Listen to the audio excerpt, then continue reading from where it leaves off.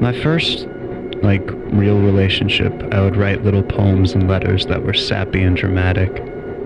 But I don't know, it was important to me.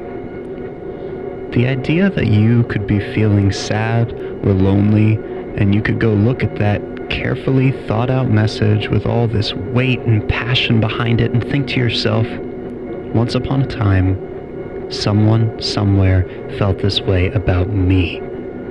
My partner at the time hated it. She thought it was so stupid, so I, uh, well, so I stopped.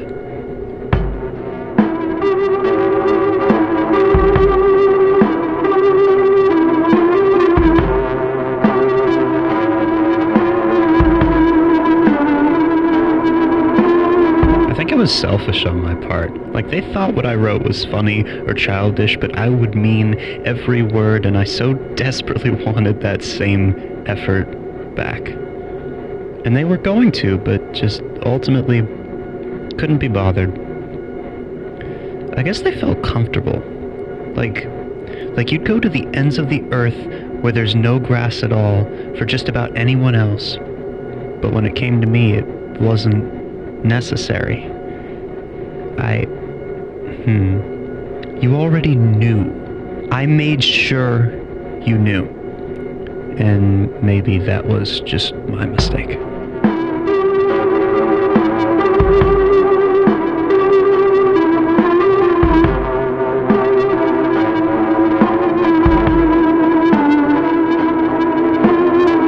Started to realize that's the curse of the artist. You're not someone anyone would write poetry about. It seems like no person or thing could ever contain that obsession, even if they tried. And at this point, if I'm a subject of interest, it's to me.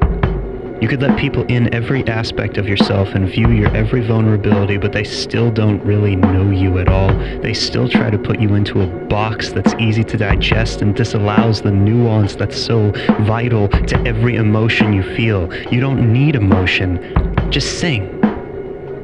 I get all of my connection through communication, ever reaching, dramatic, and passionate, and I think I feel awful enough now.